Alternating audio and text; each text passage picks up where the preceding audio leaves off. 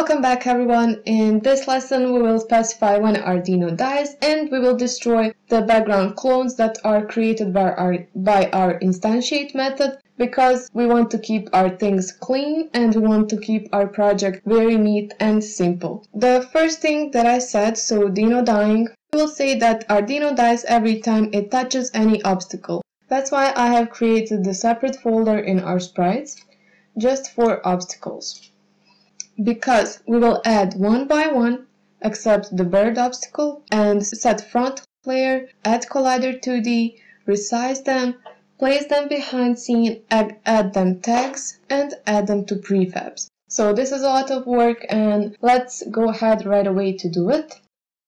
So add obstacle 1, obstacle 2, 3, 4, and fifth one. Let's select all of them, so 1, 2, 3, 4, and 5. Go to Inspector, to Sprite Renderer, Sorting Layer to be front. Let's also add one group collider, so add component, Physics 2D, and Polygon Collider 2D. Let's also add them tag, so go to tag, add tag, click this little plus, and type obstacle. Hit save and then again click on obstacle 1, 2, 3, 4 and 5. Select all of them and change their tag to obstacle.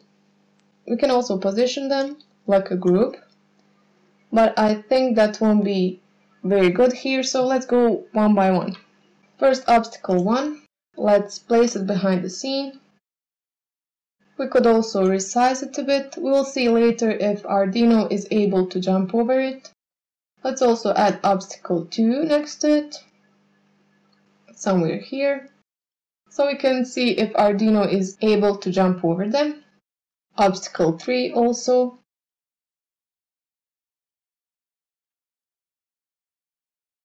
The fourth and fifth one. Let's separate them a bit more so we do this just to see if our Dino is able to jump them over, so if they are positioned right and if they are small enough. First one is okay, second one also, third of course, fourth and fifth one. Everything is great. Now let's add one by one to our prefabs folder. So obstacle 1, drag and drop it to prefabs and delete it from scene. Obstacle 2, place it right behind the scene where it will be spawned. I think it's okay and add it to prefabs. Delete it from scene, do the same for third.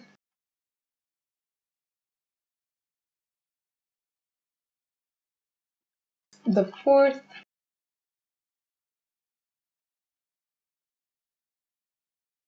and finally the fifth one.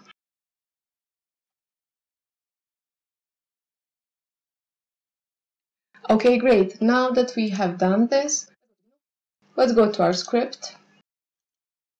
So open Dino. Since we are dealing with the dead state, we will also add here our animator. We will type private animator, which will be called anim. And let's also add this boolean is dead. So private boolean is dead. Let's initialize it right away to false. And in our start method, we have to say what is anim. So anim equals to get component animator. So let's see our update. So we want to make sure that nothing of this can run if our Dino is dead. So we have to say that if our boolean is that equals false, then everything can happen. And we will do that by typing if is that equals to false, then everything of this happens. And then we go to our onCollision enter 2D. And let's say if our Dino enters the collider of our obstacle, we have to say that our Dino dies there. So below this if statement, let's type another one. So if collision.gameObject with the tag of obstacle Then our Dino dies. We will make a separate method that will be called Dino died, so we can call it here. And that method will be made just underneath the Dino jump method. So type private void Dino died. And here, let's specify what happens when Dino dies. So first thing, we will say that our boolean is that equals true. So it becomes true. And Let's set our animation to have its trigger here. So type anim.setTrigger to dead. Okay, so what have we done here? We said if our Dino is dead, we cannot jump or run. Then let's scroll down. I'm missing one equals, so let's add there. So if we collide with any game object that has tag of obstacle, our Dino dies. So what is actually this Dino died? Let's find it. So private void Dino died, it sets our boolean to true, meaning that we can't run or jump, and our animation plays dead. So let's save this. Let's see if our animation works. So click play. But we do not have any obstacles, so let's add, for example, obstacle 1. Hit play. Okay, so our, our camera is still scrolling, but if we zoom, we have our dino dead animation. So that is okay, but we still have to stop our background. So let's find our scroll camera. And let's say if our Dino died, this cannot execute. We will do that by typing if gameObject.find. Let's find object that is called Dino. So open the parentheses, open the quotation marks and type Dino dot get component.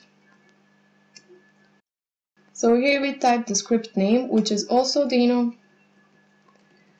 Then we use the boolean is that equals to false.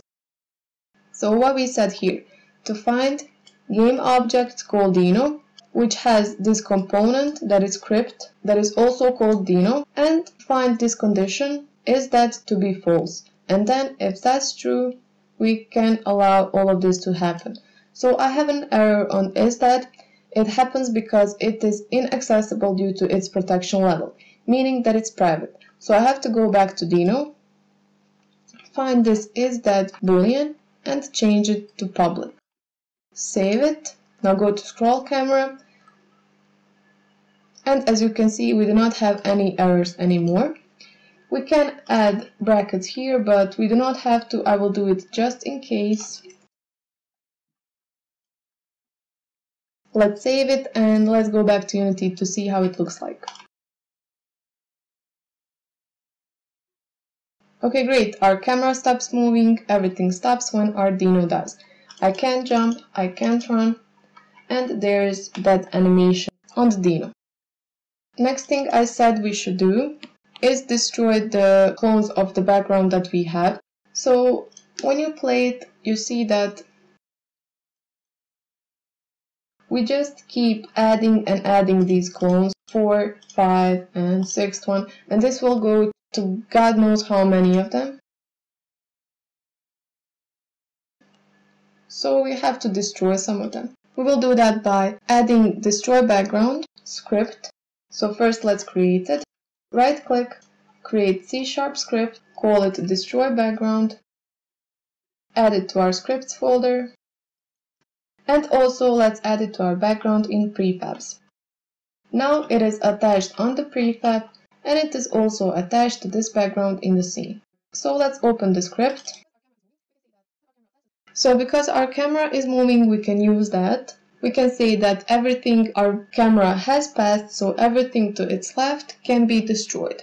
So we can say if x position of the camera passed the length of the background, which is, let's say, 20 roughly, we can destroy that game object.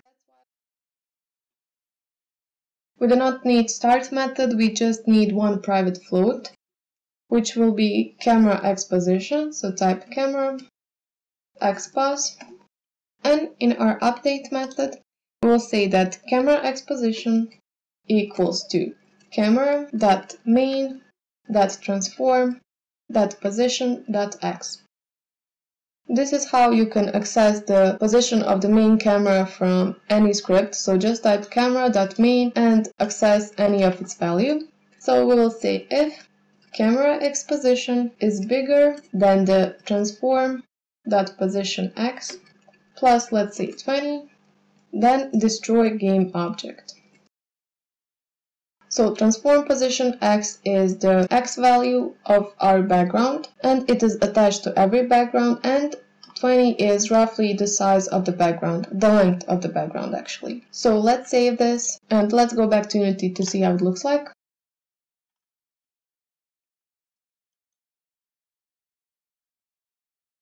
Okay, great. This looks excellent. So we have two or three backgrounds running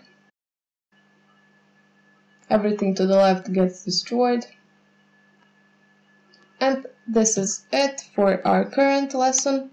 The next lesson will be spawning of obstacles.